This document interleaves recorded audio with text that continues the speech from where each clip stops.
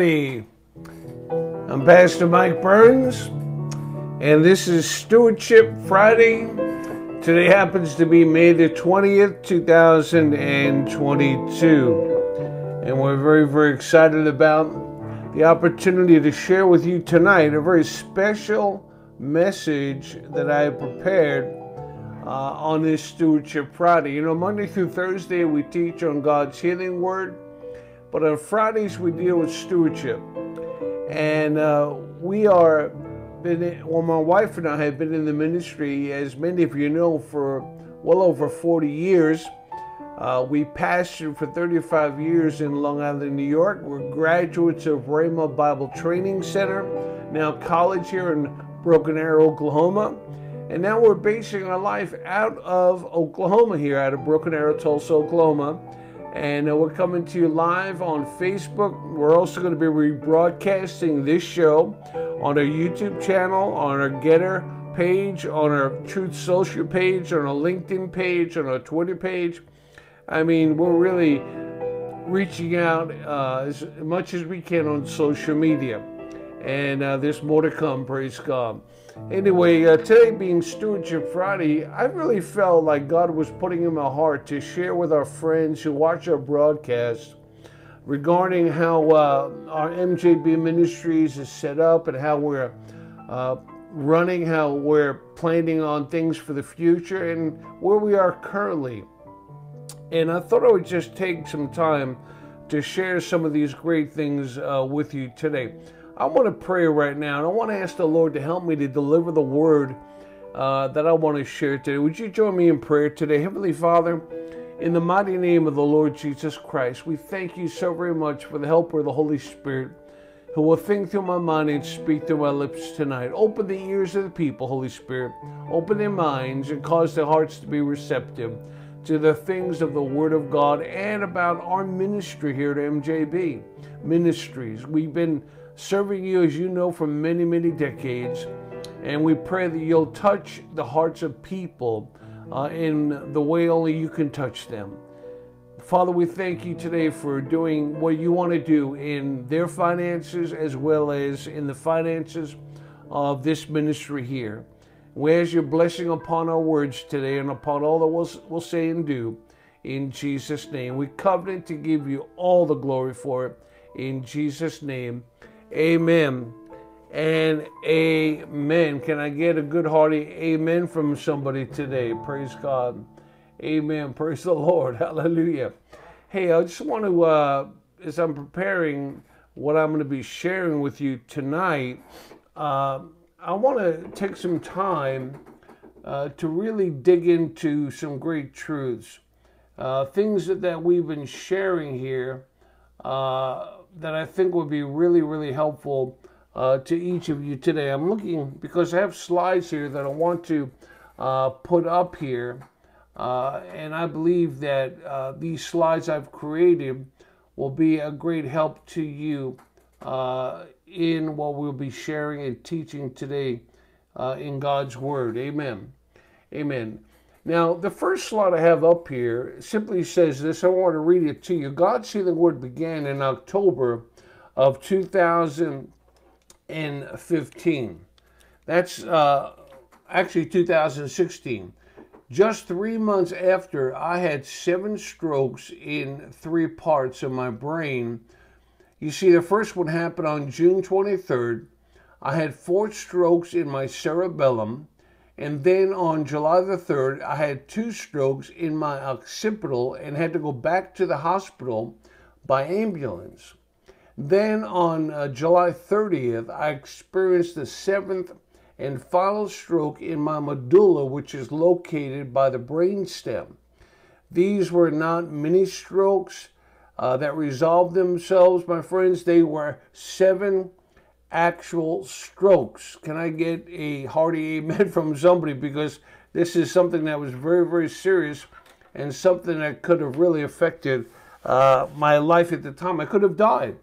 And uh, let me uh, share with you the next slide I have here. The strokes that happened to me occurred as I was working out at the gym. I suddenly felt myself falling to the left and grabbed a stack of weights to keep myself from falling. I got my composure back and then went and sat down. I immediately called my wife Cynthia and told her something was wrong, as this was the third day in a row that I had this uh, feeling of falling. My son ran up to the gym and drove me home, and my wife took me to the ER. Now, I spent the rest of the day and night going through a series of tests. Those tests included MRIs, MRAs, CAT or CT scans, ultrasound tests of my carotid arteries, and a series of multiple blood tests. I really kind of felt that uh, these tests were uh, like vampires. They drew so much blood out of me uh, that that day. Now, what happened was uh, at 7 a.m. the next morning, I met with the neurologist, uh, hospitalist. He was actually a neurologist and hospitalist, and was he told us, uh, my wife and I, at 7 a.m. in the morning, he told us that I had had four strokes in my cerebellum. Now, the scans revealed that they took that my left vertebral artery was occluded or blocked, and they believed that was the source of the strokes. My wife and I asked him several questions, but was told that there really was not anything that they could that could be done for me. He said statins have been shown to clean out plaque over a long period of time. The doctor then left, and my wife left to, to make calls to our church family and our and our families. And I, and I lay there feeling probably as lonely as I had ever felt in my life. I cannot believe that at 54 years of age, I had suffered four strokes in my brain at that time. I want you to think about this. This was a very serious uh, situation. Now, as I lay there contemplating what I had just heard from the doctor, suddenly and rather unexpectedly, the presence of the Lord began to fill the uh, curtained off ER room. And I heard, I literally heard, and to me it was audible, my Heavenly Father speak these words to me. He said, Son, and I have to stop here and, and say that when he said son, it was the most loving thing I'd ever heard in my life. He said, Son, I need you to understand that the weight of your words have brought about this consequence that you are experiencing. But if you will take the weight of my word, meaning the Bible, and put it in your heart and mouth and believe about yourself what I've said about you, then you will completely reverse the situation and you'll stand taller than you ever have before. Boy, oh boy, I tell you what, when that word came to me, I absolutely said to myself, this is uh, incredible. Now, I want to say this to you that, that even though I went on to have three more strokes, I had the word of the Lord and was standing on God's word in simple faith as I began to take the medicine of God's word and literally put it in my heart and in my mouth. I had been through some significant trials prior to the strokes that turned my words against myself. I literally, and I know some of you might find this hard to believe because here I was pastoring, but I literally hated myself. I hated the husband, the father, the pastor, and the man I had allowed myself to become. When God spoke to me as He did, that day I repented and asked Him to forgive me for believing the enemy's lies and giving Him the authority and the opportunity to afflict me as He did. The seventh stroke I had on July 30th kept me in the hospital for three days, and I was discharged on August the 1st, 1st 2016. Now, I had a choice the choice I had after these seven strokes, I could either do what, what I knew my Heavenly Father had said to me or not do it. I chose to do what He said, and I've seen a complete reversal of these symptoms. The symptoms I had, I have a list here, of, was hypertension or high blood pressure, diabetes type 2. I had not had it up at that point, and then they said I did have it. I had high cholesterol.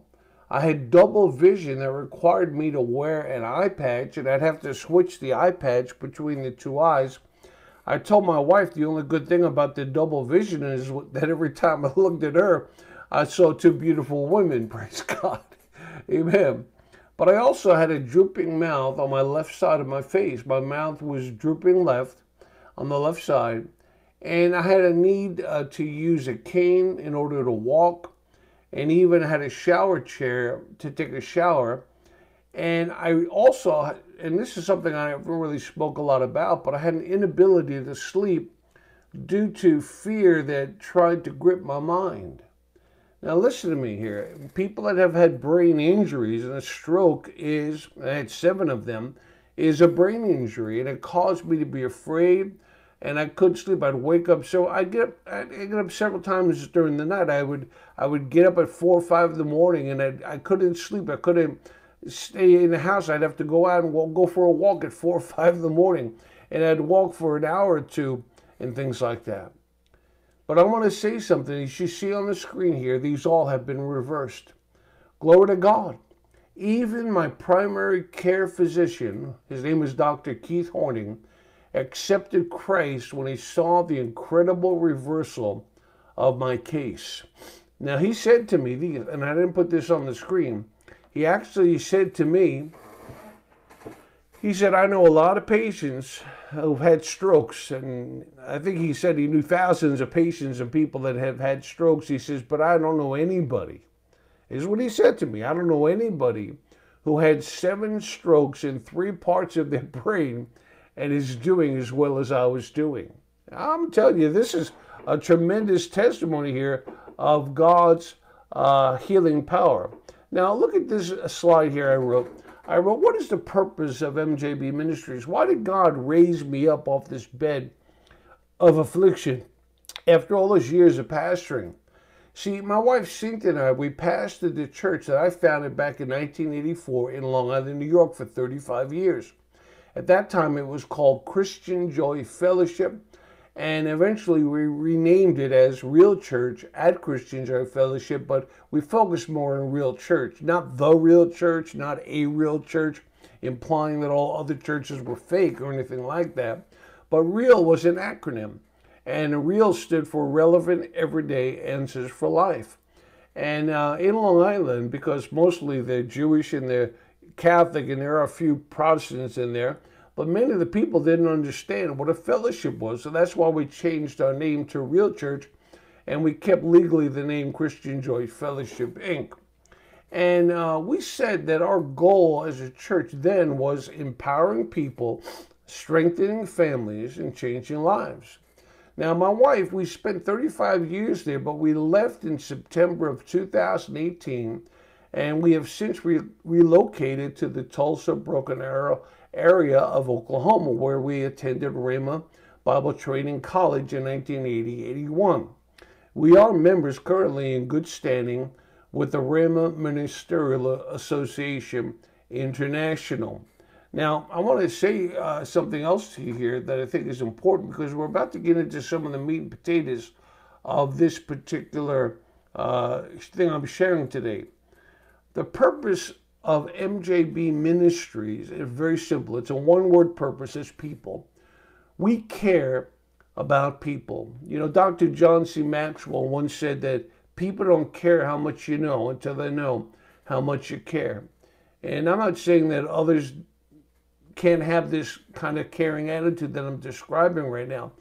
But when you've been through what I've been through and you understand what suffering is from an experiential point of view, and I'm not saying that was God's best for me, that I have absolutely made a decision, and in my heart, it's just that way where I, have a caring in my heart for people. I love people. Now, today, our ministry is different. It's no longer a church ministry, though I retain the heart of a pastor. The three things that are, I believe, are uh, signifying or keynoting uh, uh, MJB Ministries are the three words of leadership, integrity, and power.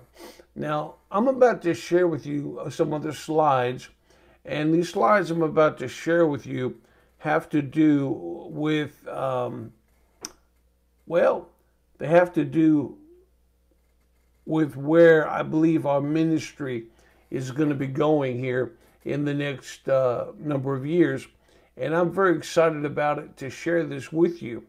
Now, in order for us to go forward as a ministry, uh, we have to have people like you who are watching us today or seeing this video uh, to be regular supporters financially and prayerfully of our ministry. Now, I'm going to share with you what I have uh, as our current monthly expenses. Now, we have a monthly newsletter that we send out to over, well, five right now, it's 579 people receive this newsletter. Uh, and we send it out through constant contact. Our monthly cost just to send that newsletter out, which gives us up to 2,500 people, is $45 every single month. Now, every year, that costs us $540 during the year. Now, my wife and I, in our home, and we have the office here in our home, uh, we have internet for broadcast, and that costs us $65 per month, or literally 700 and I think that says $80 per year. Now, we also have another account uh, called Vimeo, V I M E O. Now, Vimeo hosts all of our videos and live broadcasts uh, right now, and we have over 700 videos that are stored there. 700 videos that we've made over the last five and a half years, including some of our former church services. Now we pay uh, paid we currently we're paying twenty dollars per month, which is two hundred and forty dollars a year. The thing with Vimeo is they have different tier levels, and we want to go up. And we're doing a free trial of the fifty dollar a month business one. It's not really a month; you have to pay it, but we have a free trial good till June the sixth, I believe it is. And then we have to either decide to pay it all up at one time, five ninety nine, or we're going to go back to our uh, current membership, which is $20 a month, which they allow you to do that on a monthly basis. But we found out that the business tier level of Vimeo is not the one we really want to do. We want to go to the next level, uh, which is uh, the level that will cost us about $900 per year, and it has to be paid at once. We can actually broadcast on that next level, the professional level. We can actually broadcast through several platforms on social media at one time. Plus, we have the ability to do more editing than we can do right now at our current level. Now, you might think, well, you're doing pretty good right now, Pastor Mike, but really, we want to do more than we're doing right now. Now, we also have a website which is hosted by a company called ShareFaith. Now, this cost us $5,500 per month and annually, that website costs us $660 per year. Then we have what's called Kindrid Giving. This is the company that helps us with our giving platform. And that costs us only $25 per month or a little over around $300 per year. Plus, they have a per transaction fee that they, they put on top of that. Now, we also have for our ministry, MJB Ministry mobile apps, uh, we pay $3.99 per month for MJB Ministry apps, and this is for both the Apple app and this is also for the Google Play Store app, which costs us there only $48 per year. Now, we have ongoing other monthly expenses, and I want to say that our office rental monthly is $400. I know you said it's in the home, but we wouldn't have got a bigger place that we got right now without the need for an office. And so the $400 would cover our cost, which is $4,800 per year. Now we have phone and utilities, and we're saying that costs us about $75 per month or $800 uh, per year. I'm sorry, $900 per year. Now, as I said earlier, we want to upgrade our Vimeo, uh, which is going to give us the ability to broadcast to multiple platforms at once. Right now, we can only broadcast to one, but we have to put the go through the process of uploading it, and then we have to uh, do the rebroadcast and put the link on all these other platforms. We won't have to do that once we get to that next tier level. Now, we have a current debt, and our current debt is just really only $200 that we have for our new logo, which is God's Healing Word, that you saw earlier on the other slides. and that uh, is uh, for advanceyourimage.com. A beautiful lady named Tiffany King, who we recommend advanceyourimage.com to everybody looking to develop a website or have any graphic design work done. But we have we owe her right now two hundred dollars, and we want to pay that bill, and we need the support of the people. This has been coming out of my wife and I's pocket generally, but we want to have people like you do that. Now let's talk about some projects that we want to do. The projects we want to do are number one, publishing of two new books that I have already written.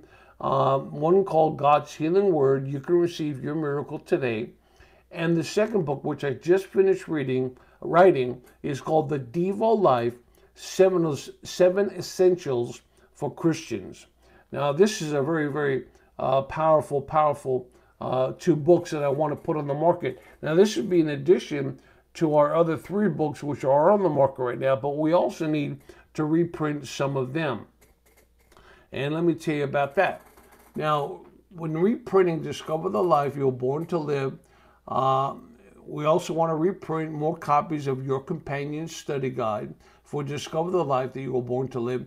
And we need to also consider printing more of Church Happens, what your pastor needs from the people they lead.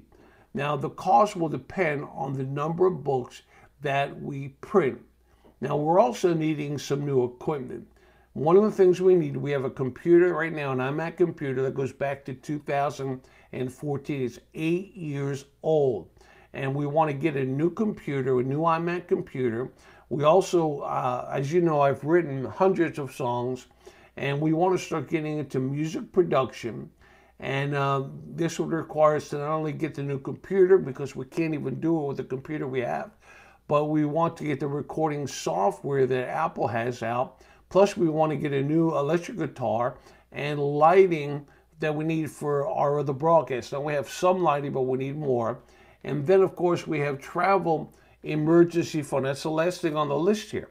Now, what do I mean by a travel emergency fund?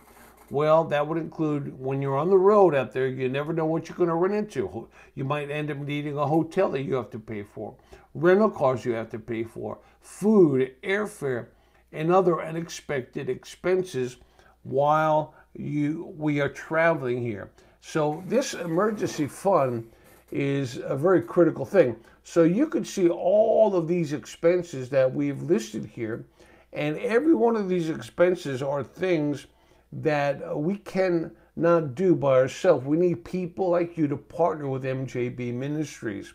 Now, uh, we want to do a lot more, but it's again, finances are the are the thing that keeps us back. Now, I just want to say this to you. I had a friend of mine that he uh, was a pastor, great pastor leader who's in heaven now, named Alan Granger. He told me the story one day that he met a pastor in California, in a very expensive part of California, I think down by the San Diego area, and uh, the man was renting a facility for his church. And Alan asked him, he said, Why don't you have your own building? And the man said, Well, real estate at the time was like $200 a square foot. It's probably higher than that now. And Alan looked at him and said, No, you didn't hear my question. He said, Why don't you have your own building? And the man looked at Alan and said, Well, you don't understand. You didn't hear my answer. It's real estate's $200 a square foot. And he said to me, He said, No, you didn't hear my question. Third time he asked him, Why don't you have a building? And the man looked at him and, and said, Okay, I give up. Why don't I have a building? And he, Alan looked at this pastor and said to him, The reason you don't have a building is because you haven't gotten people to agree with you that your ministry is a viable ministry, can make a real difference in this community. And so the man began to look around for property and he found this great land, piece of land on a, on a major inner, inner, inner highway. Well, he looked at the man and uh, who owned the property, and what he said to the man was something very significant. He began to talk to him about the vision he had for families, for children, for youth. He talked about helping people that were having addictions.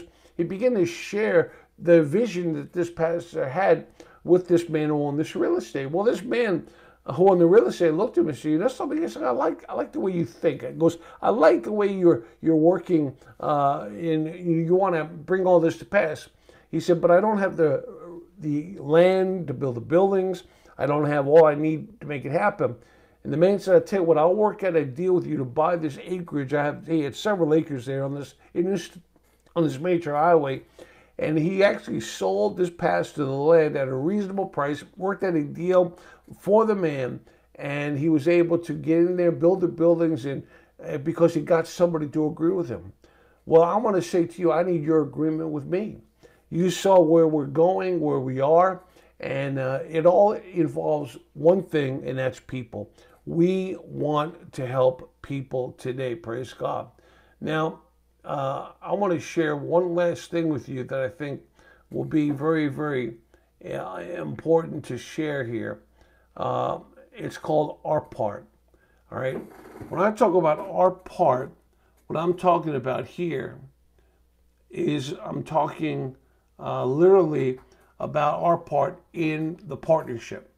We will continue to minister God's word faithfully as long as there is life within us on social media, in book writing and publishing, in itinerant traveling ministry, as doors continue to open in churches, conferences, business companies, camp meetings, prisons, nursing homes, and homeless shelters.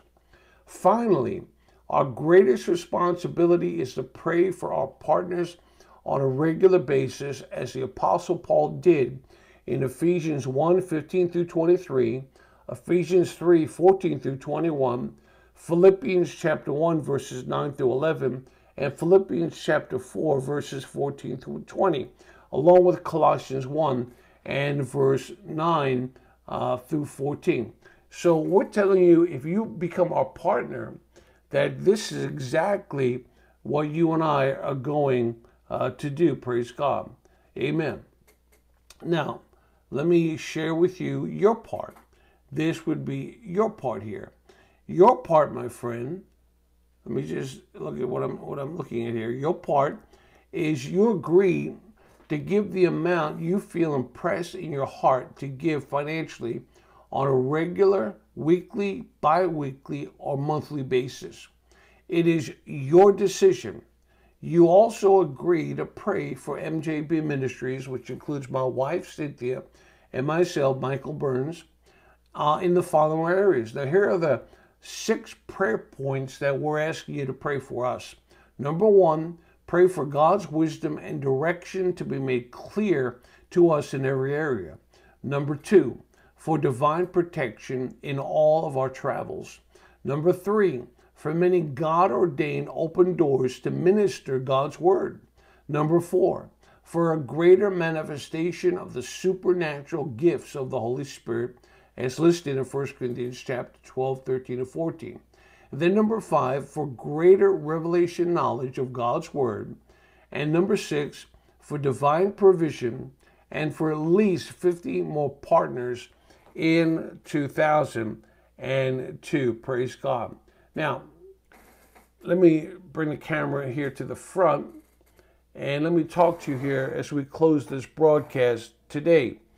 You know, uh, this I shared with you is something that's very intimate, and I want to uh, absolutely share it uh, with you in the name of Jesus because without the help of people like you, we cannot possibly do what God has put in our hearts to do. Amen. Would you consider not only praying for us, but becoming a partner, make a commitment to our ministry? Now, I know our ministry is not as big as, say, Oral or Richard Roberts. It's not as big as Billy or Franklin Graham. It's not as big as Brother Copeland and Gloria Copeland. It's not as big as Andrew Wommack and the ministry of Charis, and all those are valuable ministries of which we ourselves have given in support of all of their ministries over the years. But we're a younger ministry, not that we're young in the Lord. We pastored for 35 years, but we're new to this stage and phase of life and ministry we're in right now. And we're asking sincerely if you would consider helping us uh, to do what God's called us to do. I'm not asking this so I can line my own pockets with money, but so we can do the work of ministry. Yes, I've got some expenses I have to pay on an ongoing basis but a lot of it is applied to the ministry of MJB Ministries. So you can do that by visiting Uh, our website, let me just put that information up on the screen. Uh, we want to make sure you have that uh, there. And uh, also, let me see where else. It's up here, I think. Yeah, there it is.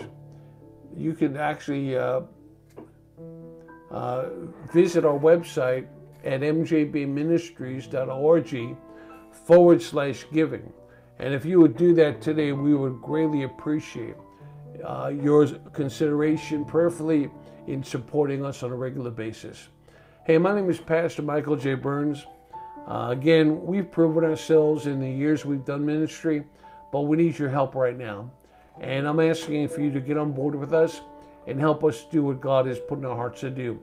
Visit mjbministries.org. You can find out more about our ministry there and all the free things we're making available. Plus, you can go to mjbministries.org forward slash giving and either give a one time gift or give as a partner, sign up to be a partner with our ministry. We certainly appreciate your consideration. Thank you so very much. I appreciate it, and I believe God will bless you for it. In Jesus' name. You have a wonderful, wonderful day. Praise God, a wonderful night as you honor and serve the Lord. In Jesus' name. Amen. Amen.